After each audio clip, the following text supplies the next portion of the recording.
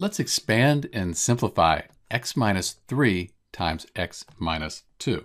So what we'll do, we can use the FOIL method, multiply the first, outside, inside, and last terms, and then we can simplify that.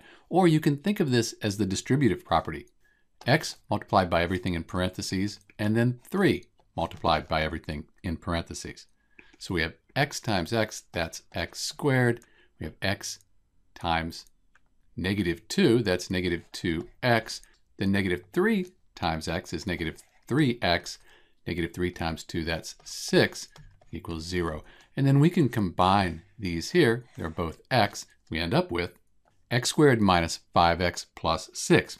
If you factored this, or if you use the quadratic equation, you'd end up with this here. This is Dr. B, expanding and simplifying x minus 3 times x minus 2. Thanks for watching.